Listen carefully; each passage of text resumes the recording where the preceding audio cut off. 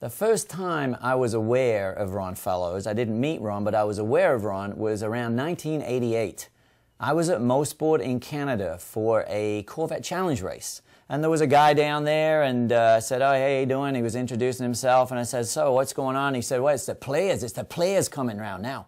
And he says, uh, you got to watch that Rick Spenard and you got to watch those fellows.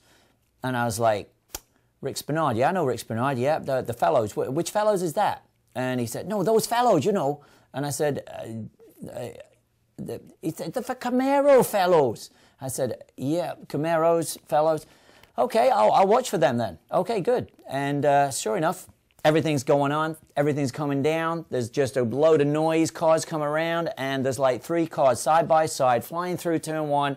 One car gets sideways, gets bumped around, and trips, flips, slide down on the roof and the guy goes, That's one of them fellows right there. That's that Ron Fellows. Ron Fellows is a name that's known to fans of many forms of racing, from NASCAR to Le Mans.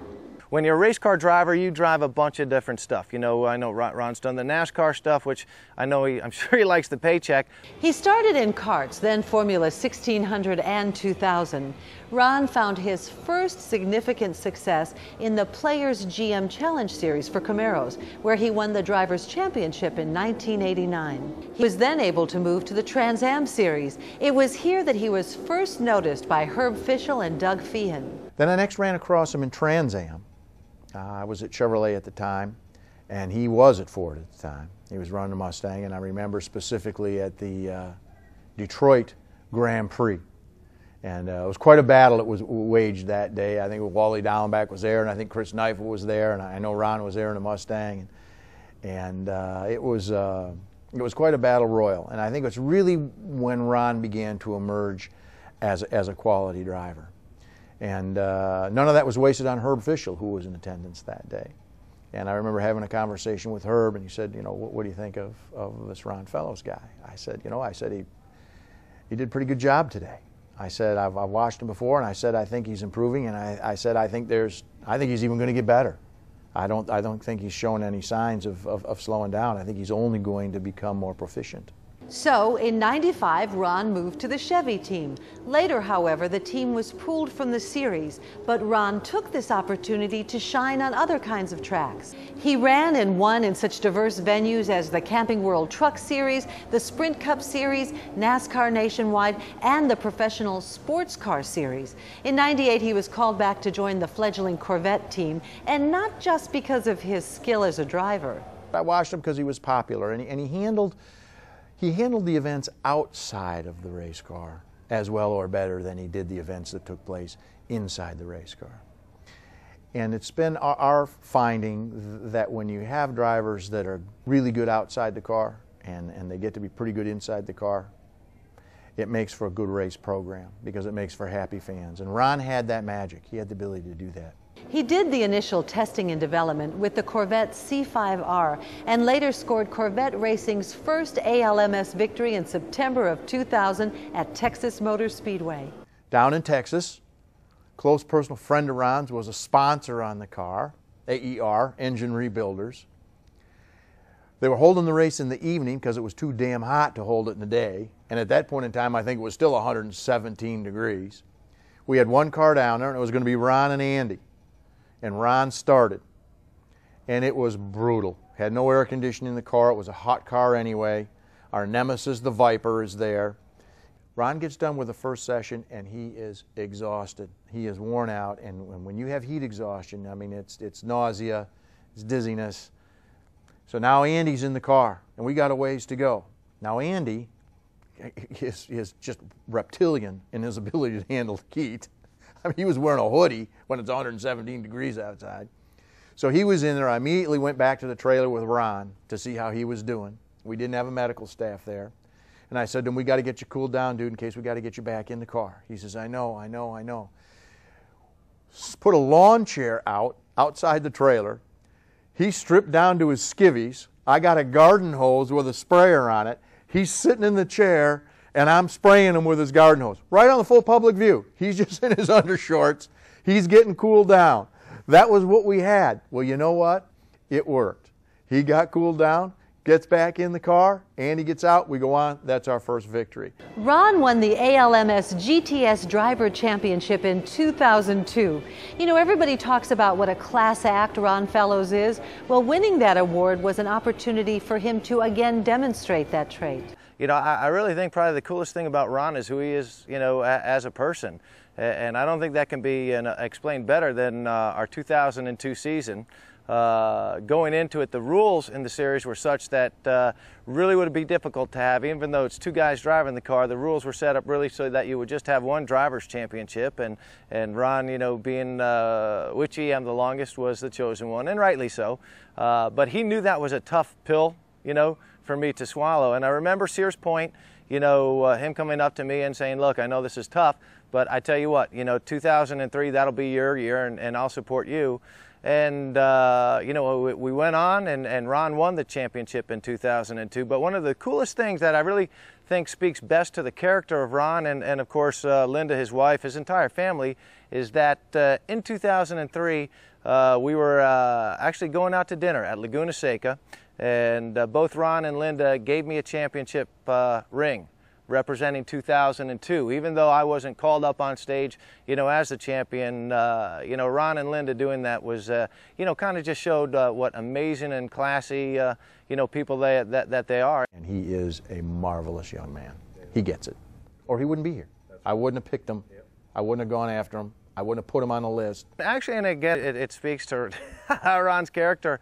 But in 2001, uh, you know, myself, Ron, you know, Scott Pruett, uh, the guys from the, the four car, you know, we're walking through downtown Le Mans. And I don't know whether it was, you know, myself or one of the other idiots, but one of us said, hey, if you, if you could sleep with any woman in history, you know, who would you sleep with?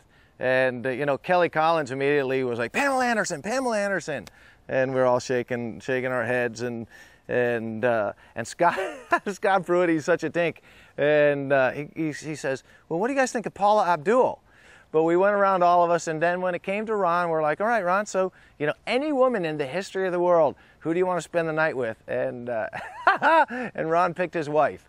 Ron continued to drive and develop the team into a powerhouse that won at Daytona, Sebring, and finally the 24 Hours of Le Mans. Ron there in the early years uh, really was the, uh, you know, the, the strength of the team, and uh, you know, as the program moved forward, it, it just became stronger and stronger. And uh, you know, you look at those early uh, years in GT1 and how we were able to dominate. Uh, you know, those were amazing times. The first race that I was Ron's crew chief was 2003, and we actually won Sebring. So that was uh, very special. It was very special for me because it was my first Sebring win, and um, I think Ron had won a few by then. So, uh, and then we were able to go on and uh, win the championship in 2003 with him, which was very special. You know, every championship that you have, um, you know, uh, not that it puts you up, and it just you know makes all your hard work worth it. So. Uh, you know, being able to work with Johnny and Ron, was phenomenal that year, and uh, you know, like I said, Ron made it real easy by the end of the year to be more than just driver and crew chief, more like you know friends, and then uh, we just able to race on the weekend, so it's pretty cool. You know, I think we raced in Le Mans with Ron. I probably was there six times with him. We went on that same year to win the 24 Hours of Le Mans. That, for me personally, probably the most prominent victory of my career. Ron would have to tell you what his might be because I'm sure personally he has some great ones. But I think for everybody involved, it was wildly emotional, so difficult to achieve, coming on the heels of the Daytona win. In 2007, Chevrolet recognized Ron's contributions to Corvette racing. The limited edition Ron Fellows ALMS GT1 Champion Corvette Z06 is the first signed special edition in Corvette's history. You know, the Corvette, uh, you know, heck, Ron's got a Corvette named after him. He's got a Ron Fellows Corvette. So, you know, you can't have that type of association, uh, you know, with a car without it being very special and dear to your heart.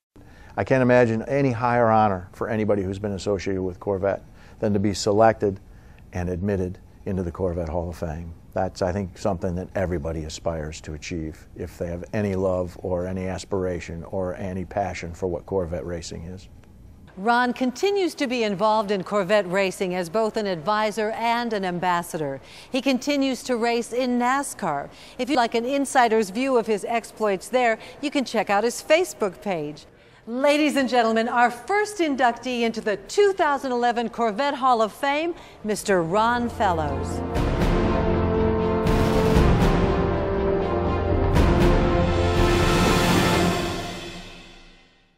Ron Fellows for his outstanding accomplishments and significant contributions to the Corvette. Induction to the Corvette Hall of Fame, September 1st, 2011. Congratulations, Ron.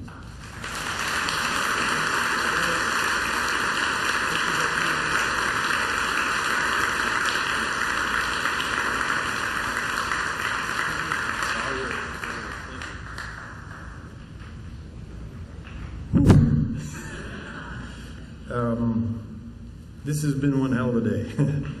uh, for a, a, Canadian boy, uh, very special.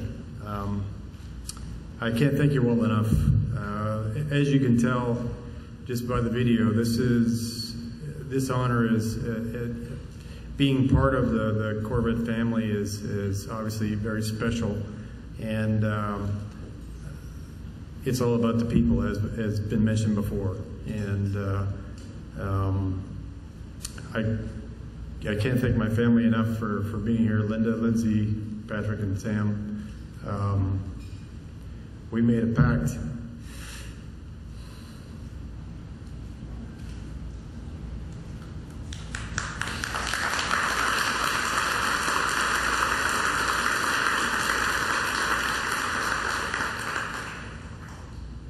We made a pact as a family. We would always travel together. Hey, we do. Um, my kids have grown up at the racetrack. Um, and a big part of the, the, their growing up has been with Corvette racing, and uh, um, it, it's just fantastic to see familiar faces here and, and uh, uh, extended family, the Canadian contingent. Uh, Marilyn, thank you for your hospitality. Um, my teammates, uh, uh, Johnny and Andy, um, thank you for being here. And uh, Gary and Robin, um, Gary, who'd have thunk this in 97? Uh, this is where we be. Um, Gary Claudio, Tom Wallace, Carla, um, it's just uh, Gord Wilson from Wilson Niblett in Canada. Th this is just a, a, very, very special day one I will never forget. Um, and thank you to the to the Hall of Fame for inducting me and uh, and my family. Um, and it is absolutely my honor to be uh, to the McKeegan family and the Quinlans. It is absolutely my honor to be inducted with Claire and Ray. And uh, again, thank you so much. Um, this is truly overwhelming. Um, how about that car?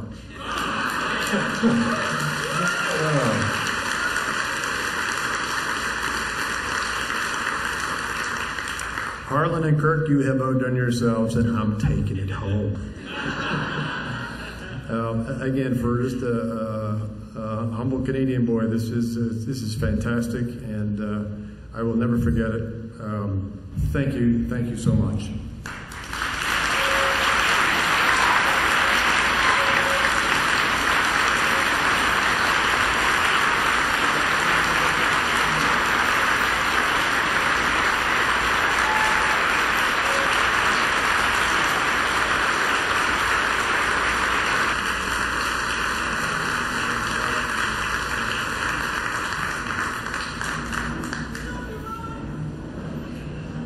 going to invite Gary Pratt, Johnny O'Connell, and Andy Pilgrim to come on up.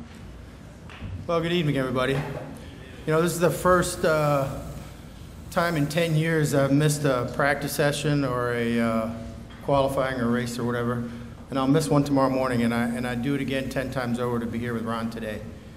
Um,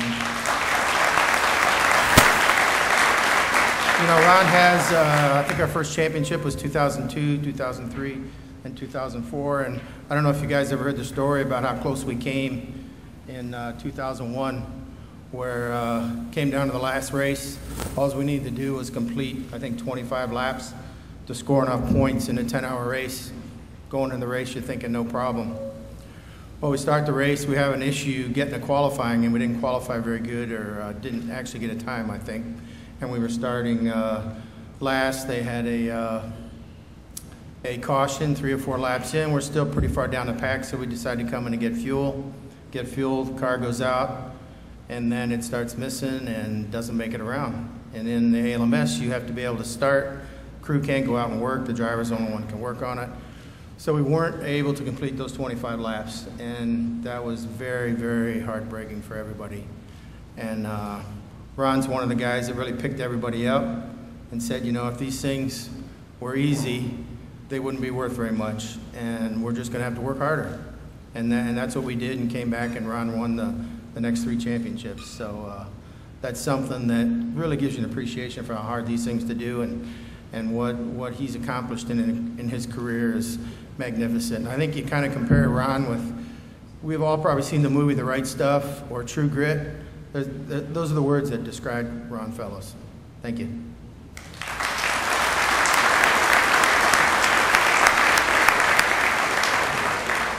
Good evening. Um, it's a pleasure to be here. Uh, Ron, congratulations, and all the other inductees, congratulations uh, to all them and their families. It, it, really is a pleasure to be here.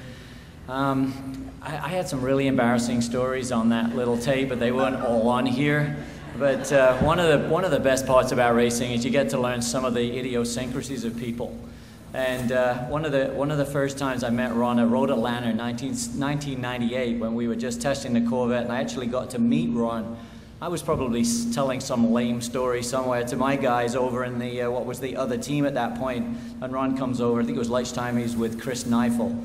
And I was telling some story, and I have this, you know, this thing with this Scottish accent when you're talking about stuff. And I was saying something, this Scottish accent thing, and it's like, hey, you're doing all right, Jimmy? And I heard this voice from back, and it was Ron, you know, doing a Scottish accent. I thought, this guy's okay.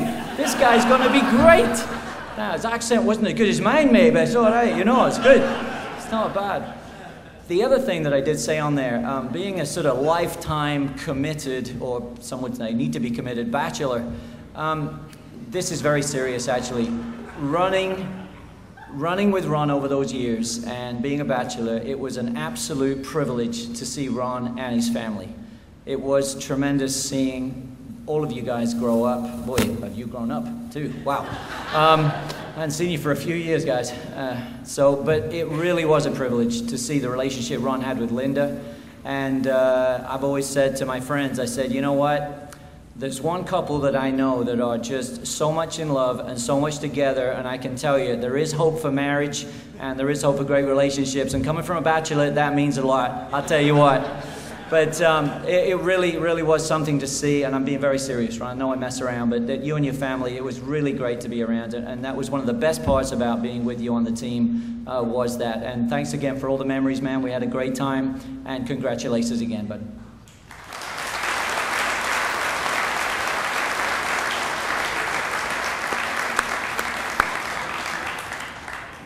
My Canadian brother. You know, it's so funny to hear, uh, you know, Andy talking about the kids growing up. Because, uh, you know, in 2001, you know, Sam and Patrick were tiny, and I could beat them up. I don't think I can beat them up anymore. But, uh, you know, we, uh, you know, everyone, uh, Ron, from, from the get-go, you know, the, the love that everybody has shown this guy uh, is just the neatest thing. And to have shared in it is, you know, for me as his teammate over, you know, all those years is, uh, you know, that's rocking chair equity. And the stories that he and I are going to have, you know, down the road when we start remembering races uh, is going to be really cool because, you know, I mean, I, I was, you know, talking about some of the stories there, uh, you know, in that video. And Linda, that's true. You've heard that story before. And uh, but uh, you know what's uh, one of the coolest things is there is a great bond that uh, that you have with your teammate. Uh, some teammates are competing against each other. Not a healthy thing. One of the beautiful things about Ron and I is, you know, it's like about three or four races into our uh, relationship. God, that sounded gay. Um, when he hugged me and said, Johnny, you savage. No, he didn't. But but but uh, uh, you gotta have a little fun. But uh, but where you could just tell, okay, we were we were we were working together. You know, it was not you know uh, what we were looking for in the car. And Ron always extremely meticulous with with setup and you know, really loving that aspect of, of, you know, really going over the car. Uh, my patience was never quite what his was, and at like 8:30, you know, when he was my ride home, I'd be like, "Okay, Ron, let the engineers do it." And uh, but Ron always wanted to make sure uh, the car was perfect, and uh, and when it was, we won. I, I, mean, we had some phenomenal years. You know, one of the things that uh, that really hasn't been addressed, or, or that we haven't, you know, spoken of. We've spoken of his character. We've spoken of his family, his love, all that kind of stuff.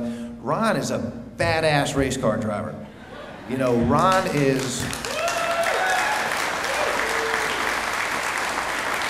You know, and, and to be honest with you, you know, uh, you know, at this type of thing, yeah, you want to hear you were a good guy and all that, but you want everyone to know you're a badass fast. And uh, and the you know, Linda, do you remember that year at Sears Point when he got the pole? And I mean, we are watching. This was, I think, the last year we raced there, and Ron and I won at uh, Sears Point five years in a row. Nobody else did that. And we're watching qualifying, and and when you're the driver, you're you know what that car is supposed to do, and you're listening to it. And going into one, it's supposed to go, bah, ah, you know, where he lifted. Stay with me, okay? And and qualifying, I'm watching, and Ron's just like, bah,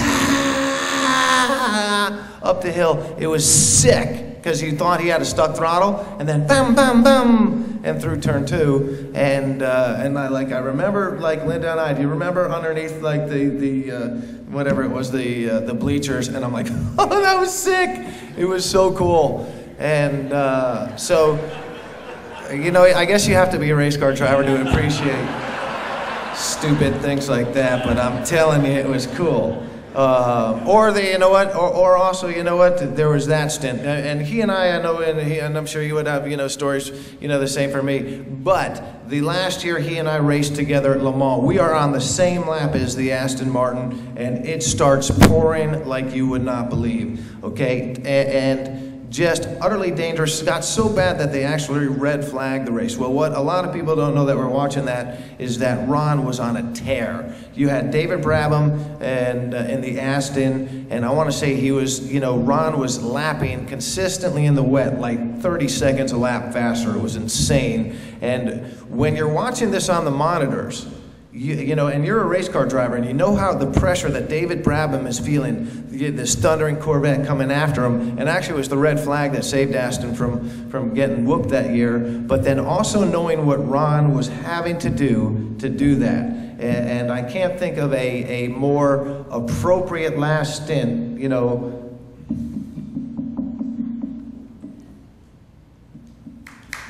that was cool. So, you know, you have all those great.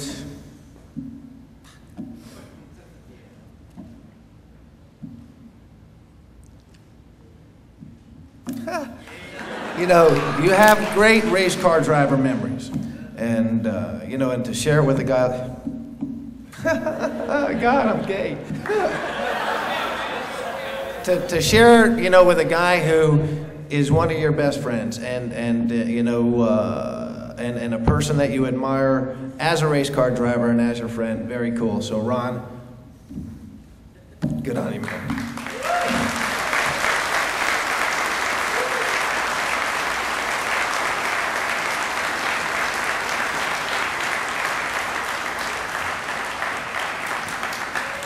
He almost had he almost had me in tears there. I had shared um, I had shared in the seminar how uh, I was invited to go along with the validation team when they were doing the 2009 Corvette and certainly the ZR1. And I, uh, I got to ride with, uh, with Ron and I drove first and here I was passing three cars and on the highway and these back roads in Colorado and I look over at Ron and I said, how am I doing? He said, I don't know, fine. He's just texting away on his text, you know. when it was his turn, I was hanging on for dear life. I found out what ZR1 brakes can do. And there was two other guys that were on that validation team that are good friends of Ron's that are here tonight, and I'm going to ask them to come up too. Why not? It's a party, right? Past Chief Engineer Tom Wallace and Gary Claudio, past Marketing Manager for Corvette.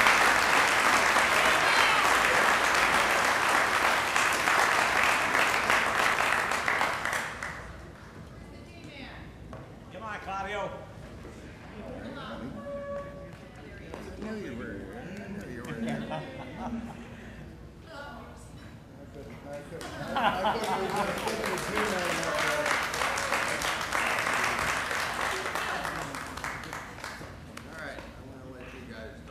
Oh, I've got to go first?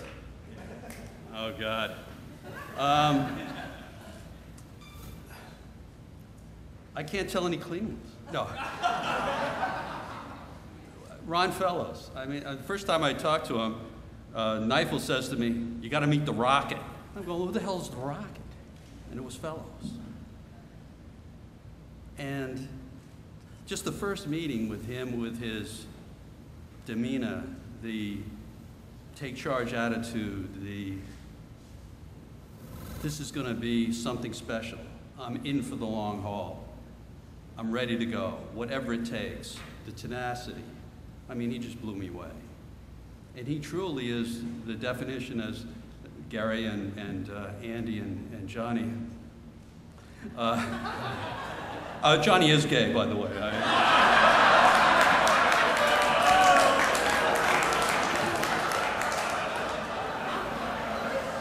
Yeah, that's okay, John. It's all right, babe.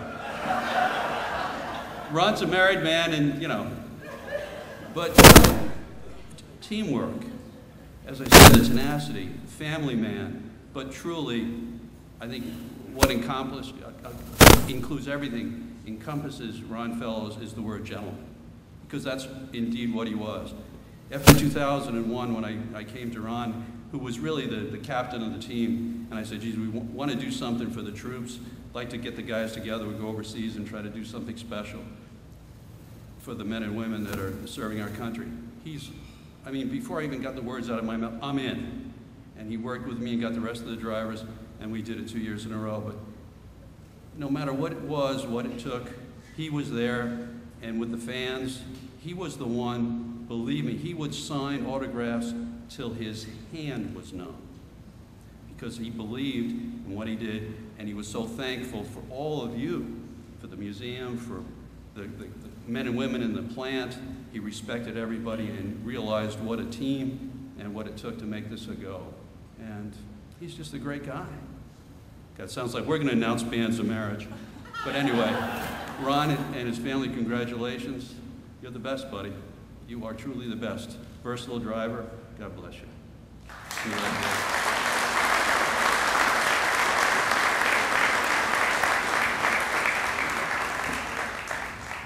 Well, well, well, Ron.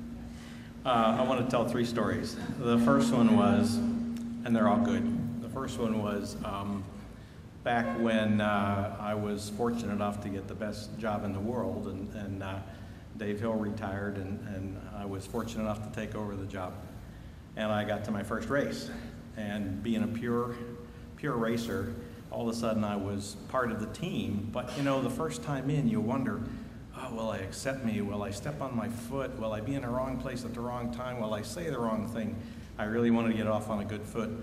And I have to tell you, between Gary and Robin and Ron and Johnny, it wasn't even 15 minutes, and I felt like I was part of the team there. And and we only did went and did better things after that with respect to the relationship between a production car and a race car. So, so I want to thank you for that, uh, because man, within 15 minutes I felt at home, and it was it was just awesome, and we had a heck of a ride after that. Um, the second one is I'll tell you all out there. a lot of you know, but some of you might not know that when we are in the process of um, doing the uh, the Z06 before me and then the ZR1, uh, there's a bit of Ron Fellows and Johnny in every one of the Z06s and ZR1 we do. Uh, we didn't talk about it much, but um, we would do our best as production engineers to flog the cars, and you all know about the 24-hour test that we'd run at pure race race speeds, quite often at Road, Atlanta, VIR, et cetera. And uh, you all know Jim Mero, who has done the, uh, the, the laps at Nürburgring. Jim and I would feel like we had the car wrong out, and then we'd call Ron in and, and Johnny and say, all right, tell us what it needs. And we'd be all proud, and, and they'd get in the car, and within three laps, they'd be going five, six seconds faster and say, you need, need a little more rear bar, maybe a little more front spring rate. And we go, oh. And you know, we'd make those changes, and the car was better. And, and y'all ought to thank him because uh, they're the reason these cars are so good in the final analysis when you really put them through the, those paces. So uh, that was a pretty well kept secret, but we thank you for that. Um, we thank you, Linda, for allowing him to come do that. Um, you and the family are just so gracious uh, to be able to uh, allow him to help us with that. And, and from there, we, have done nothing but continue to grow the relationship between the production cars and the, and the race cars. And it just gets better and better and better. And I, I can sit back now and watch it and have fun and say, hey, look what these guys are doing. So, okay, now the best story. Um, Buzz talked about the test trip that we were out west, out in Colorado and, and, and places. Uh, we were in this particularly beautiful two-lane twisty through the valley between the mountains um, ride and uh, doing some, a little bit of filming, but mostly just having a good time putting the car through their paces before they would reach production, but uh, for the photo shoots, etc. And we had, I think we had ZR1, Z06s, the Grand Sport wasn't born at that time, but we also had um, uh, coupes and convertibles. And of course, Ron was driving and, and uh, a car on and off when he wasn't sitting in the passenger seat texting, but he was driving. And we left uh, this little spot where we had had lunch, and it was a beautiful twisty section of the road, and we had already been on it once, so we knew it was, um, let's say, safe to drive, like double, twice the speed limit. And I'm in a, I'm in a Z06, and I'm having a heck of a good time. Test testing, of course, we were testing. And I'm thinking, I'm gaining on the guy in front of me real fast, and I'm thinking, well, that's a convertible, base convertible behind me, no problem with that. He'll never catch me. And within three turns, I look up, and I'm going as fast as I can possibly make a Z06 go, and here's Ron Fellows in the driver's seat of this convertible, and his grin is about this big. and he wasn't five feet off my bumper, and I, it's, it's like, who are these guys behind me, you know? And, and, and, oh, we just had a good time. Then we decided maybe uh, that probably wasn't such a good idea. but but uh, uh, four turns later, we wicked it up again. There he is. And literally, he was just there with a big old grin on his face and, and just having a good old time. So, so that was, uh, that was my, uh, one of my Ron Fellows stories that I'll never forget that time. And uh, made some good articles and some good pictures and some really, really great memories. So we just want to thank you. You're, you're so important to Corvette and, and what Corvette stands for and all of our fans and, and the capability of the cars.